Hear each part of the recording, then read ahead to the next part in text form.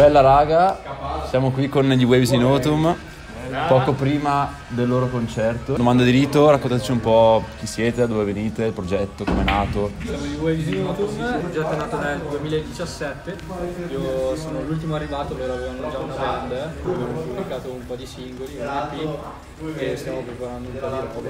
La band è nata già come Waves o c'erano le ceneri di un vecchio progetto? C'è una, c'è una storia in Eh, infatti, realtà immaginavo. alle spalle. Fondamentalmente noi già suonavamo in un progetto precedente, diciamo la gavetta. Quando poi questo si è sciolto siamo rimasti noi strumenti e cercavamo il cantante. In realtà lui poi eh, in quegli anni già lo conoscevamo. Il fanboy il fanboy, esatto. Lo sentiamo cantare e tiriamolo dentro. Waves in Autumn come nome in realtà è nato praticamente in quel periodo lì mentre eravamo al mare noi. Sì, eravamo al mare, era autunno. È, è- è l'ufficiale spiegazione della, Eh, del sì, nome? eh? sì, siamo, siamo ignoranti. Cioè, la, la, la scena Siamo un po' ignoranti. Se lo vuoi, se ci credi, è questa la Cioè, è, stato, è stata una frase sua, cioè io ho la scena impressa, è stata una frase sua sulla spiaggia, guarda, in un momento di depressione devastante. Voi come vi collocate all'interno della scena metalcore? Nel senso, siete più attenti ai nuovi trend o comunque a come si è evoluta la scena nell'ultimo periodo? Siete più interessati invece a creare qualcosa di molto più personale, di vostro? Ma diciamo che ci lasciamo un po' ispirare da quello che, che ci piace, cioè senza andare a pensare effettivamente bene a un trend da seguire, cosa, cioè quello che ci ispira nel momento noi come persone, come composizione, lo, lo tiriamo fuori. Sempre più diventando più, più istintivo pian piano che si va avanti. È più emotivo che Sì. anche una ricerca studiata di quello che facciamo. Eh, quello poi- che esce, anche quello perché- che c'è dentro di noi. Poi appunto ormai ci sono quasi una decina d'anni, tra noi quattro soprattutto, a girarci pezzi di canzoni, riff e quindi fondamentalmente ormai si è creata una sorta di catena di montaggio. Si sperimenta molto per dire le ultime volte che, cioè le ultime robe che abbiamo scritto ci siamo messi a provare più sound, quello che ci ha ispirato di più abbiamo detto boh è questo, continuiamo su sta roba qua e abbiamo sviluppato il resto dei pezzi basandoci sulla cosa che ci sembrava un po' più personale ma anche abbastanza innovativa diciamo per noi. Il processo compositivo, per esempio. Come trovate una quadra dei vostri ascolti? Io faccio da filtro, loro arrivano con le idee, riff, motivetti anche, audio su, su Whatsapp. Arrivano a me, cestino. Cestino, lo tengo, poi dopo salta fuori quello che salta fuori. Sì, praticamente Michael fa un po' le veci del produttore e del regista diciamo. Quali sono dunque i vostri ascolti? Quali sono gli artisti con cui vi piacerebbe di più collaborare? Quelle delle influenze. Bertuf. Bertuf. Why She Sleeps. Stick to your guns. Your Dance, Ghost Inside. Ghost Inside. Straight from the Path. Stray from the Path, sì. Tutto quel tipo. No, no, a me piacciono però. eh, No, ma devo- de- noi come ascolti siamo molto variegati come- a livello personale, però noi dirigiamo quella che è la nostra attenzione perché è il sound del gruppo, senza spesso lasciarci troppo influenzare da quello che stiamo ascoltando. Cerchiamo di scrivere una cosa, un riff, un motivetto che possa essere waves e poi si compone in quel senso. Quando scriviamo pezzi per la nostra band pensiamo semplicemente come Waves in Autumn. Non prendere, copia e incollare. Per Prendi e lo fai tuo, lo personalizzi, lo, lo assorbi, lo riadatti. Questa cosa è stata più semplice perché pur ascoltando Metal da, da giovane ho smesso a un certo punto di suonare qualunque musica degli altri, di altre Delle altre band, ok. Da lì in poi ho soltanto creato quello che potevo fare. Qual è se doveste riassumere, qual è la formula Waze? La salsa segreta del Krabby Patty? qual è? La sa, la sa lui. No, secondo, me già Oh, la stanchezza, da- boh. Meglio quando sono Non stanco. dormire. Proprio tutto sì. da quando il riff che gli arriva a lui se è stato scritto con un'emozione, con un pensiero fisso, quella cosa lì poi lui riesce a crearla. Ok. Perché senza quella cosa lì diventa troppo piatta e se ne accorge subito. Penso che la formula sia soprattutto di pancia adesso. Cioè Ok. qualcosa di difficilmente quadrabile per dire. Suona Waves, che poi è una cosa che spesso non sapremo spiegare nemmeno troppo Esatto, bene. penso che È sia un una cosa tipo di che nasce semplicemente dal trovarci noi Cioè, cinque, quello che ci piace andiamo. e diciamo questo suona Wave. È la roba nostra. Eh, Eh, nostra. su come noi suoniamo andiamo su come siamo fatti Ok. senza cercare di forzarci ad esempio a fare le composizioni che magari per noi sono complesse piuttosto che fare cose che non sono istintive Diciamo che abbiamo puntato molto anche sulla resa live. eh sì Mm, ok. Diciamo che secondo me è una chiave molto importante, forse scontata, però comunque non, non è così scontata effettivamente ai fatti. E quando ti trovi in saletta e risuoni i pezzi che hai scritto e senti che cazzo tirano, allora bella, let's go. Questa cosa la porti live, la gente si diverte. Eh, parliamo appunto delle live, visto che le citate. Come è cambiata secondo voi da quando avete iniziato ad adesso proprio la scena live? Beh, dopo il covid è cambiata parecchio. Cioè, secondo me se ne sono accorti tutti. Che altri che. Cioè, Andate a fanculo. Ciao raga, No, dicevo, possiamo dare due prospettive abbastanza differenti, ma che coprono un ampio spanno di tempo, perché noi abbiamo cominciato 5 anni prima dei Waves, è che 10 anni fa a questo punto due erano i locali qua a Bergamo, facevano un paio di serate e le serate erano anche frequentate da gente molto più di nicchia, molto più quelle 3-4 persone, sì, o- e, e spesso poi magari legate anche a un contesto metal più classico piuttosto che... Adesso, post-Covid, a me sembra che ci sia stato un boom, poi lui è molto ultimamente sul pezzo, anche a vedere la gente che, che c'è in giro agli eventi, quindi... Boh sì ci sta, cioè la scena è sicuramente un po'... È ripresa, è è ripresa, ripresa, cioè più viva, ma non è che lo dico io, cioè un botto di serate sold out, iniziative nuove, gruppi nuovi che spaccano, c'è più fotta, c'è più roba, c'è più gente, la gente è presa bene, la gente ha un'altra mentalità, non so, sarà il covid, ci ha fatto capire cosa ci stavamo perdendo e abbiamo detto raga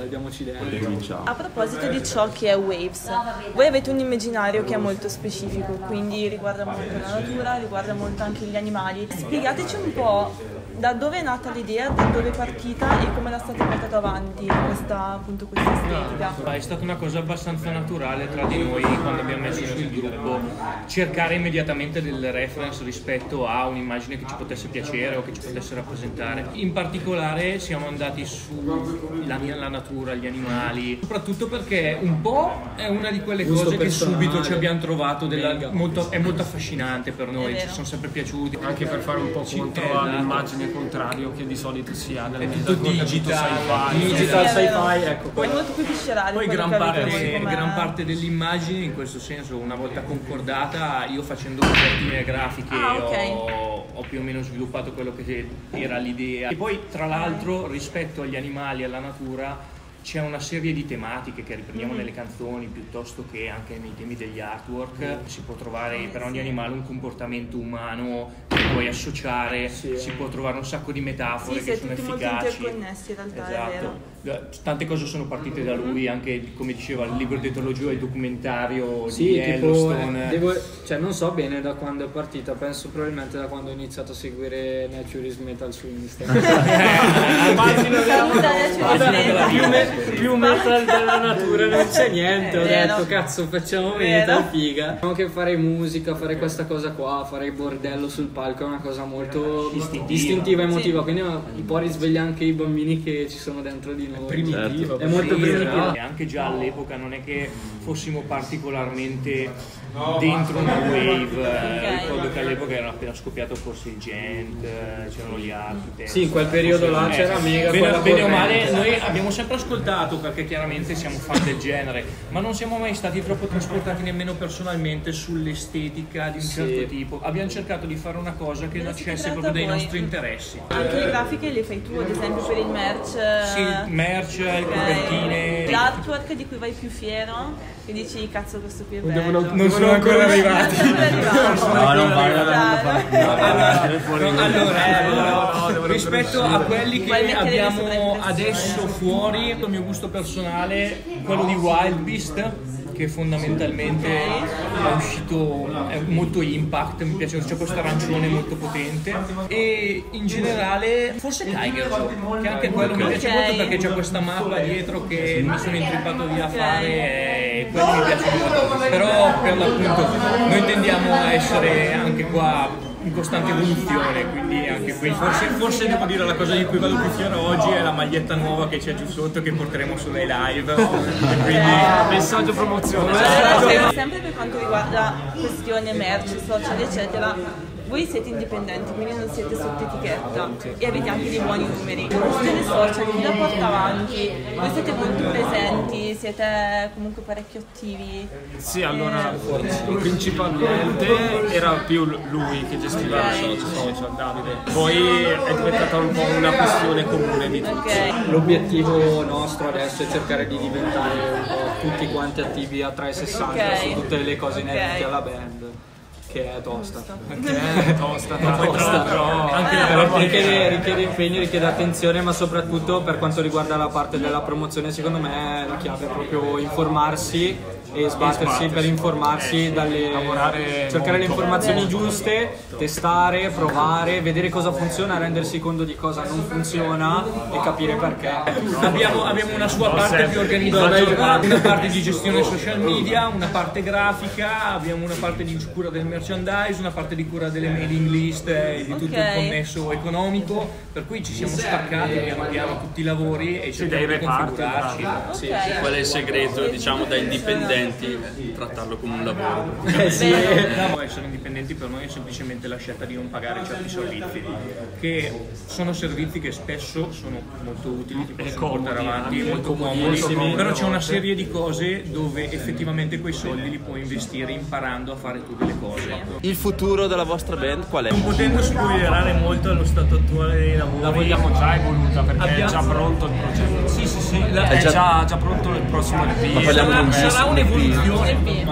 Sarà un'evoluzione. Abbiamo cambiato produttore, tutto il resto. Diventa più post-hardcore. Se così vogliamo metterla, Se perché così vogliamo metterla, Influenze diciamo- molto molto particolari. Più o meno quali saranno le nuove influenze del, del nuovo progetto? Se senza spoilerare, poi semplicemente Boh, c'è del rock. C'è del rock, esatto, ho Beh. detto anch'io questo, c'è del rock. sarà un'evoluzione. È estero ed è australiano. E diciamo che questo qua ha prodotto delle band che sono abbastanza in voga. Siamo, siamo andati, abbiamo puntato a fare una cosa che valorizzasse il più possibile. Quindi siamo andati a fare anche un investimento. Chi è che ha prodotto?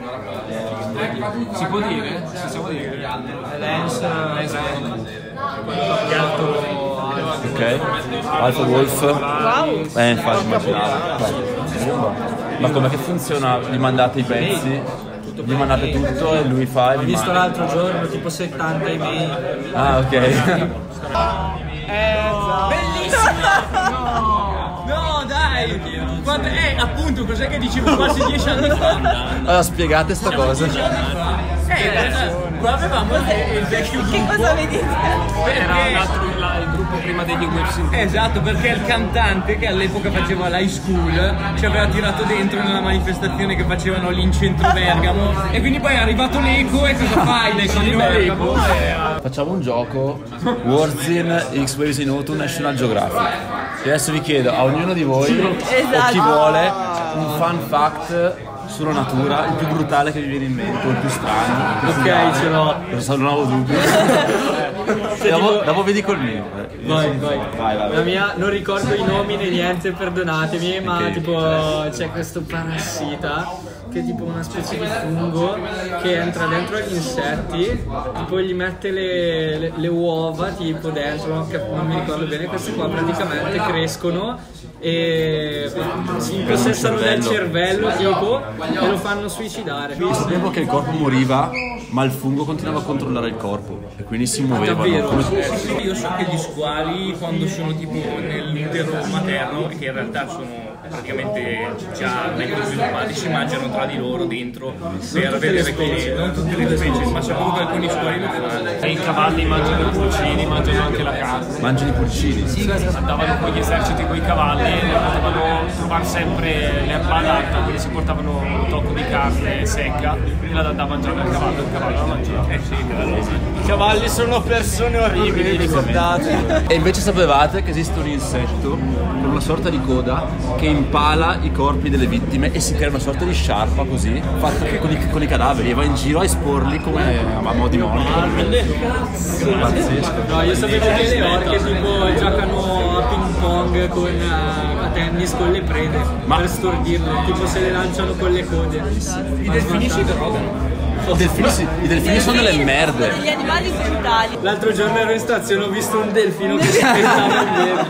Con quali animali vi identificate? Ho fatto un photoshoot tra virgolette con le caricature nel tempo del covid dove non si poteva appunto uscire per fare il photoshoot e ce l'avevamo fatte Lui è una volpe, sì sono una volpe un lupo, un cervo e il caro che aveva una lontra. Una lontra. Non so perché. Waves, precursori della scena furry in Italia.